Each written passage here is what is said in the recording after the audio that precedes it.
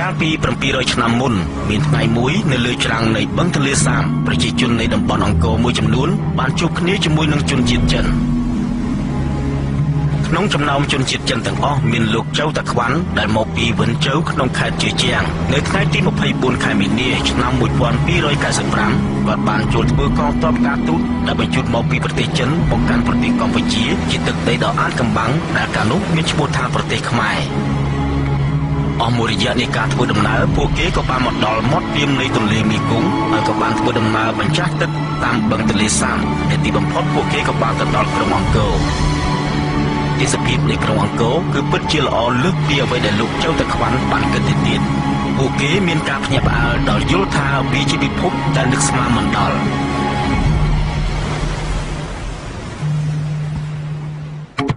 លោកចៅតាខ្វាន់បានស្នាក់នៅទីក្រុងអង្គរអស់ពេលពេញមួយឆ្នាំហើយក្រោយមកលោកបានសរសេរសៀវភៅមួយក្បាលមានចំណងជើងថាកំណត់ត្រាការធ្វើដំណើរអំពីប្រទេសខ្មែរសៀវភៅនេះនិយាយអំពីអ្វីដែលគាត់បានឃើញហើយវាក៏ជាកំណត់ត្រាដែលចាស់ជាងដែលត្រូវបានកត់ត្រាដោយជនបរទេស។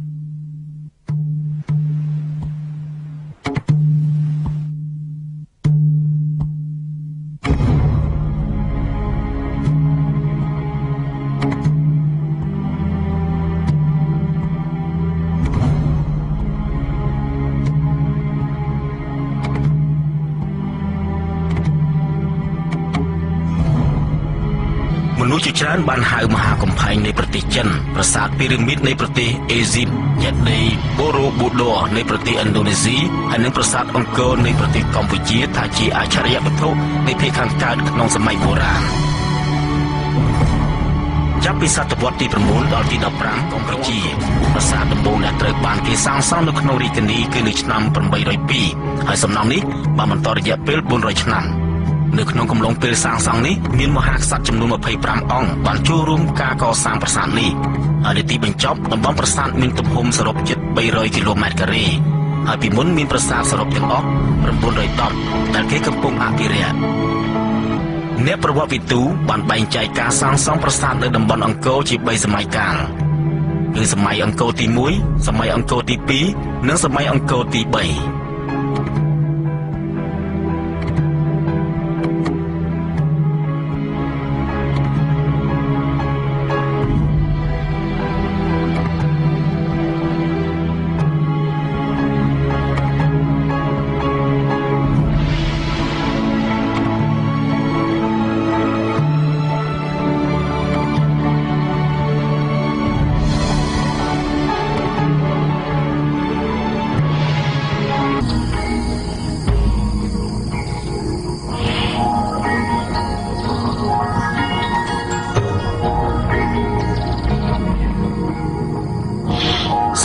ត្តិសាស្ត្រនៅក្នុងក្រុងអង្គរគឺជាការលាយបញ្ចូលគ្នារវាងគំនិតស្រមើស្រមៃដែលមិននឹកស្មានដល់រចនាបថធរណីមាត្រដ៏ស្មុគស្មាញនិងបច្ចេកទេសក្នុងការសាងសង់យ៉ាងល្អឆើនពួកគេក៏បានបញ្ចូលនៅទេពកោសល្យដ៏ប៉ិនប្រសប់និងអានកំបាំងព្រមទាំងលក្ខណៈពិសេសអស្ចារ្យចូលគ្នាជាមួយនឹងជីវិតពិតផងដែរនៅក្នុងឆ្នាំ1112នៃគ្រិស្តសករាជព្រះបាទសូរ្យវរ្ម័នទី2បានឡើងគ្រងរាជ្យជាស្ដេចនៃប្រទេសកម្ពុជា កំណត់ត្រាប្រវត្តិសាស្ត្របាននិយាយថាទ្រង់គឺជាស្ដេចប្រកបដោយគុណធម៌ល្អទ្រង់អាចធ្វើឲ្យផ្កាជូករីកបានហើយក៏អាចធ្វើឲ្យអ្វីអ្វីរីកលូតលាស់បានល្អទៀតផងហើយវាជាការពិតណាស់ដែលថាកំឡុងពេលព្រះអង្គសោយរាជប្រទេសកម្ពុជាបានក្លាយជាប្រទេសដែលខ្លាំងបំផុតនៅក្នុងអាស៊ីអាគ្នេយ៍ហើយក៏ជាសម័យកាលដ៏រុងរឿងនៃស្ថាបត្យកម្មផងដែរហើយកំឡុងពេលដ៏ល្បីល្បាញនេះឯងដែលប្រាសាទអង្គរវត្តត្រូវបានគេកសាងឡើង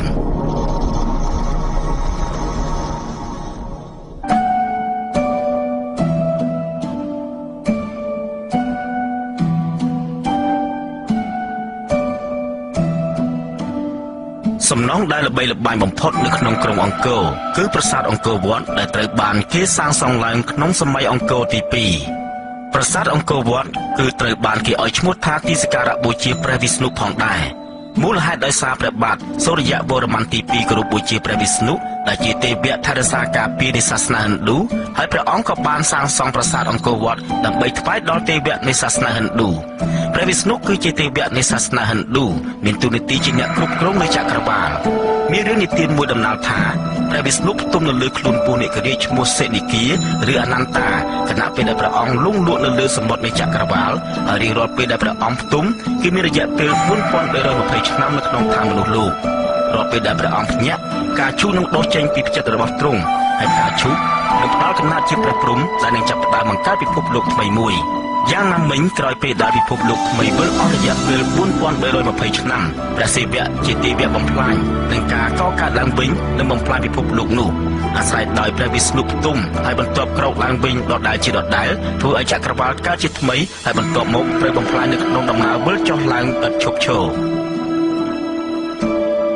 ប្រាសាទអង្គរវត្តត្រូវបានសាងសង់ឡើងដោយដុំថ្មធំធំនៅលើដីរាបស្មើជាមួយគ្នានេះដែរប្រាសាទនេះ មានសសរធ្វើអំពីថ្មសរុបចំនួន1532ដើមដែលមានទម្ងន់សរុបជាង3000តោនដែលមិនគួរឲ្យជឿហើយជាងនេះទៅទៀតក្រុមប្រាសាទថ្មទាំងនេះជាប់គ្នាយ៉ាងល្អឥតខ្ចោះដោយគ្មានសារធាតុធ្វើឲ្យស្អិតជាប់គ្នាសូម្បីតែបន្តិចដែលត្រូវបានប្រើដុំថ្មនីមួយៗភាគច្រើនមានទម្ងន់ជាង10តោនជាជាខាងត្បូងនិងខាងជើងដែលនៅជាន់ខ្ពស់ជាងគេខុសគ្នាមិនដល់0.1%ផង ប្រាសាទអង្គរវត្តត្រូវបានសាងសង់ឡើងតាមទម្រង់នៃភ្នំព្រះសុមេរុឬភ្នំព្រះសុម៉ែយោងទៅលើសាសនាហិណ្ឌូភ្នំព្រះសុមេរុនៅក្នុងមហាសមុទ្រគឺជាចំណុចកណ្ដាលនៃចក្រវាលជាកន្លែងដែលពពួកទេវតារស់នៅហើយនៅជ្រុងទាំង4ជុំវិញភ្នំមានភ្នំតូចតូច4គេជឿថាព្រះអាទិត្យនិងព្រះច័ន្ទវិលជុំវិញភ្នំព្រះសុមេរុនេះឯងដោយយោងទៅតាមទស្សនៈចក្រវាលបែបនេះ អ្នកកសាងប្រាសាទអង្គរវត្តក៏មានគំនិតសាងប្រាសាទដោយប្រើគម្រោងធរណីមាត្រដ៏ពិសេសនេះជាការពិតណាស់ប្រាសាទអង្គរវត្តជាសំណង់សាសនាដ៏ធំបំផុតលើលោកវាចំណាយពេលជាង89ឆ្នាំក្នុងការកសាងប្រាសាទអង្គរវត្តមានអ្នកខ្លះនិយាយថាមានមនុស្សជាង15លាននាក់បានចូលរួមក្នុងការសាងសង់សំណង់នេះហើយនៅពេលដែលសំណង់នេះត្រូវបានបញ្ចប់ព្រះបាទសូរ្យបូរ្ម័នបានសោយទីបង្គត់ជាយូរឆ្នាំមកហើយ ប្រាសាទអង្គរវត្តមានកម្ពស់3ជាន់ដែលតំណាងឲ្យឋាននរកឋានមនុស្សនិងឋានសួគ៌នៅជាន់ក្រោមផ្ទាល់ដីតាមបណ្ដោយផ្លូវដើរគឺជញ្ជាំងដែលមានរូបចម្លាក់យ៉ាងល្អឆើតហើយនៅចំកណ្ដាលនៃតួប្រាសាទគឺជាទីអាសនៈ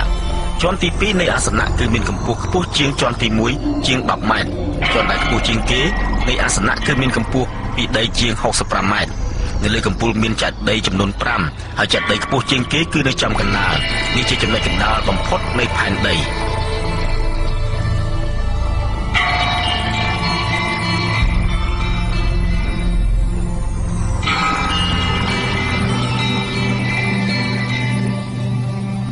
ទស្សនៈស៊ូគឺមិនមែនត្រូវបានពិពណ៌នានៅក្នុងសំណុំប៉ុណ្ណោះទេប៉ុន្តែក៏ត្រូវបានគេឆ្លាក់នៅលើជញ្ជាំងដែរ នៅលើជញ្ជាំងដ៏វែងនេះជីវិតសាសនានៃប្រទេសកម្ពុជាត្រូវបានគេឆ្លាក់តាំងបង្ហាញបែបជាចម្លាក់លៀនចម្លាក់នៅតាមជញ្ជាំងប្រាសាទនៃផ្លូវដើរនៅទិសខាងកើតនិយាយអំពីការកូរសមុទ្រទឹកដោះ មានរឿងនិទានដំណាលថានៅក្រោមភ្នំព្រះសុមេរុប្រសិនបើកូរសមុទ្រទឹកដោះនឹងមានទឹកអមរិតជីវិតអមតៈប៉ុន្តែវាត្រូវបានពុះនិករាជដ៏ធំមួយការពារនៅក្នុងសមរភូមិច្បាំងដណ្ដើមយកថ្នាំទឹកនោះពួកទេវតានិងពួកទេវៈបានចាប់ក្បាលនិងកន្ទុយពុះនិករាជរួចគោបង្វិលទឹកសមុទ្រនោះបង្កើតបានជារលកគួចយ៉ាងធំនៅទីបំផុតជីវិតសត្វទាំងអស់នៅក្នុងសមុទ្របានស្លាប់ ហើយភ្នំព្រះសុមេរុស្ទើរតែរលំនៅពេលនោះព្រះវិស្ណុបានប្រែកាយព្រះអង្គឲ្យទៅជាសត្វអណ្ដើកមួយយ៉ាងធំទៅប្រតិពីក្រោមភ្នំ ពាន់ឆ្នាំក្រោយមកវត្ថុមានតម្លៃជាច្រើនបានផុសចេញពីបាតសមុទ្រក្នុងចំណោមនោះក៏មានទឹកអម្រឹតដែលគេចង់បានគ្រប់គ្នាផងដែរនៅពេលនោះដែរព្រះនាងលក្ស្មីដែលជាមហេសីរបស់ព្រះវិស្ណុក៏បានកើតចេញពីពពុះទឹកសមុទ្រផងដែរចម្លាក់លើជញ្ជាំងផ្លូវដើរបង្ហាញពីរឿងព្រេងនិទានជាច្រើនពីប្រទេសឥណ្ឌា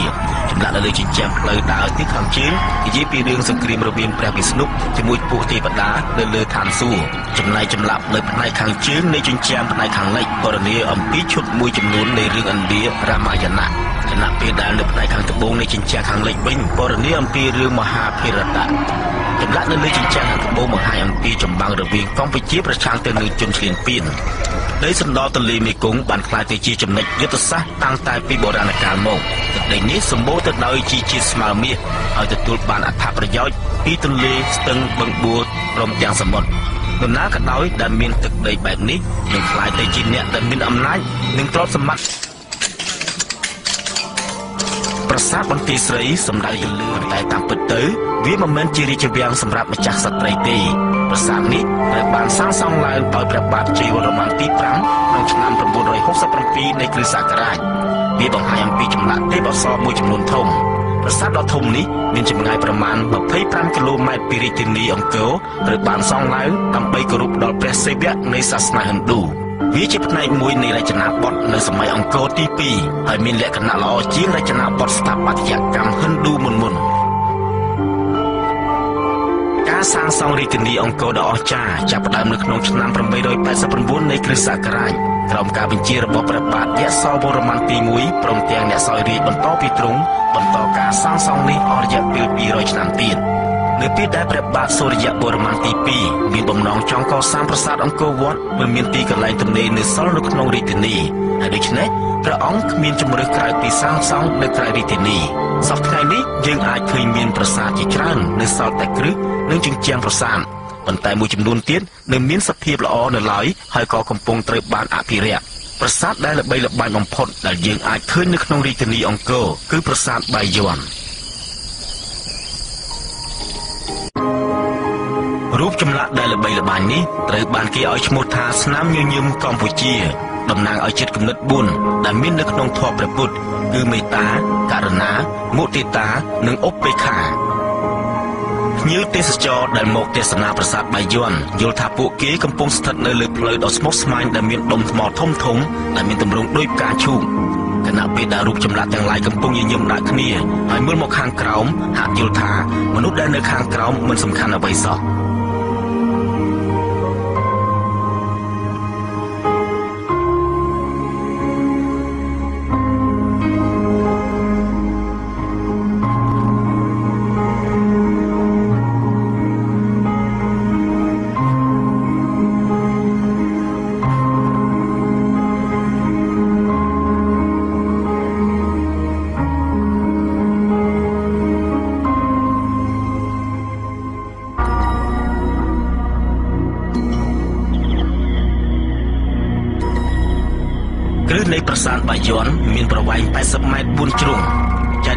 ចំកណ្ដាលមានកម្ពស់43ម៉ែត្រពីដីប៉ុន្តែមានចេតិយចំនួន54ទៀតដែលមានកម្ពស់ខុសៗគ្នាបង្កើតបានជាចេតិយមួយក្រុមហើយនៅកំពូលចេតិយនៃជ្រុងទាំង4គឺជាចម្លាក់យ៉ាងធំនៃព្រះពុទ្ធគង់សអ៊ីមធ្វើអំពីថ្មសរុបទៅនៅលើចេតិយទាំង54មានរូបព្រះពុទ្ធចំនួន216ហើយបែបនេះហើយធ្វើឲ្យជនជាតិខ្មែរសន្និដ្ឋានថាព្រះបាទជ័យវរ្ម័នទី7ប្រកាសជាមានរូបរាងដូចរូបព្រះពុទ្ធគង់សអ៊ីមនេះខ្លាំងហើយ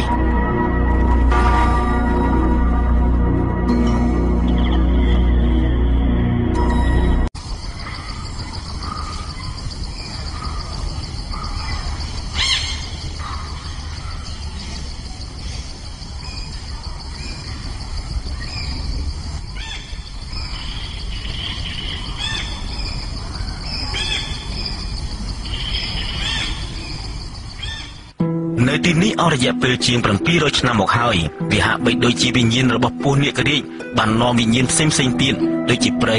វល្លិស្លែភ្លៀងផ្គររន្ទះសត្វព្រៃកម្ដៅយ៉ាងក្តៅនៃព្រះអាទិត្យនិងភាពងងឹតនៃរាត្រីមកវាប្រហារលើប្រាសាទដ៏ពិសិដ្ឋឥតឈប់ឈរឬនៃវិញ្ញាណដើមឈើបានឡើងលើសសររហូតដល់ដំបូលហើយបានវាទៅគ្របកណ្ដៀតកន្លោះនៅស្នាមប្រេះរួចនាំគ្នាព័ទ្ធជុំវិញបង្អួចនឹងទ្វារ ឬខ្លះទៀតចូលទៅដល់ចំណុចកណ្ដាលនៃតួប្រាសាទទៀតផងបានបាននាំឲ្យប្រាសាទដ៏ពិសិដ្ឋនេះក្លាយជាភាពអស្ចារ្យមួយ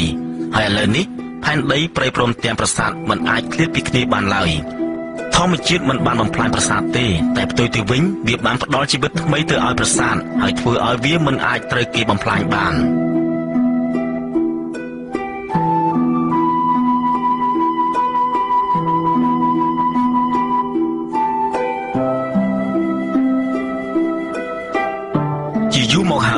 ដែលប្រជាជនលោកខាងលិចជឿថាជនជាតិបារាំងឈ្មោះ Henry Mohot ជាអ្នករកឃើញប្រាសាទអង្គរលោក Mohot អតីតគ្រូបង្រៀនសាលាមធ្យមសិក្សាគឺជាអ្នកវិទ្យាសាស្ត្រដែលស្រឡាញ់ធម្មជាតិយ៉ាងខ្លាំងហើយនៅឆ្នាំ1858គាត់បានចុះកប៉ាល់ធ្វើដំណើរផ្សងព្រេងតាមដងទន្លេមេគង្គគាត់ព្រមទាំងអ្នកដទៃមួយចំនួនបានប្រទះឃើញប្រាសាទអង្គរដោយចៃដន្យខណៈពេលដែលពួកគេធ្វើដំណើរនៅក្នុងព្រៃក្នុងខេត្តបាត់ដំបងនៃប្រទេសកម្ពុជាហើយប្រជាជនក្នុងស្រុកក៏បាននាំពួកគេទៅដល់ប្រាសាទអង្គរវត្ត កាលនោះប្រាសាទទាំងមូលត្រូវបានទន្ទ្រានដណ្ដើមយកដោយព្រៃឈើហើយតួប្រាសាទមួយចំនួនត្រូវដួលធ្លាក់ដល់ដីប៉ុន្តែខ្លះទៀតនៅសភាពល្អនៅឡើយហើយសត្វព្រៃខ្លះប្រើប្រាស់ផ្នែកខ្លះនៃប្រាសាទធ្វើជាជំរករបស់វាលោកមហតបានកត់ត្រានៅក្នុងសិភៅកំណត់ហេតុរបស់លោកថាទីដែលធ្លាប់ជាកន្លែងពោពេញទៅដោយភាពសម្បូររុងរឿងនិងអស្ចារ្យបានក្លាយជាគំនរបាក់បែករៀបដល់ដី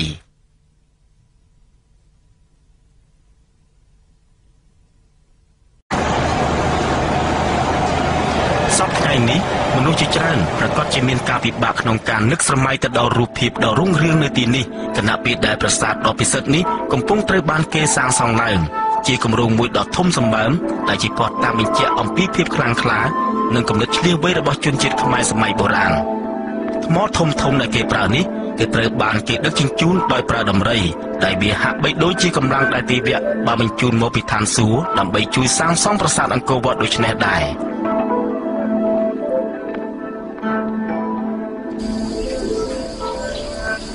រឿងនិទាននៃជលសីមាទន្លេមេគង្គបានដំណាលថាសត្វដំរីជាអវតាររបស់ព្រះនៃគតិបណ្ឌិតក្នុងរឿងនេះបានដំណាលទៀតថាទេវថរសាបានចាក់ចេញទៅធ្វើសង្គ្រាមនៅពេលដែលមហេសីរបស់ទ្រង់ដល់កំណើតបុត្រាមួយអង្គអស់រយៈពេលជាច្រើនឆ្នាំទ្រង់បានត្រឡប់មកវិញប៉ុន្តែបុត្រារបស់ទ្រង់ពុំអនុញ្ញាតឲ្យទ្រង់ចូលដំណាក់វិញឡើយដោយខឹងខ្លាំងពេកហើយមិនបានដឹងថាក្មេងនោះជាបុត្ររបស់ទ្រង់ព្រះអង្គក៏បានកាត់ក្បាលក្មេងនោះរួចក្រវែងចោលទៅក្នុងព្រៃក្រោយពីដឹងថាក្មេងនោះជាបុត្ររបស់ខ្លួន ព្រះអង្គមានការសោកស្ដាយជាខ្លាំងហើយបញ្ជាឲ្យគេតាមរកព្រះកេសបុត្រនោះឲ្យឃើញប៉ុន្តែគ្មាននរណាម្នាក់រកឃើញទេបន្ទាប់មកព្រះអង្គក៏បានកាត់ក្បាលដំរីមកដាក់លើករបស់បុត្រចាប់តាំងពីពេលនោះមកបុត្ររបស់ទ្រង់ក៏បានក្លាយទៅជាព្រះនៃគតិបណ្ឌិតព្រះមហាក្សត្រខ្មែរ បានមកបុគ្គលទាហានដំរីយ៉ាងច្រើនសម្រាប់ច្បាំងហើយបង្ហាញអំណាចរបស់ខ្លួនដោយធ្វើព្យុហយាត្រាដំរីមានគេនិយាយថាមហាក្សត្រតែងតែត្រួតពលដំរីរបស់ខ្លួនពីលើកំពូលនៃលានត្រួតមួយនេះដែលគេឲ្យឈ្មោះថាលានប្រជុលដំរី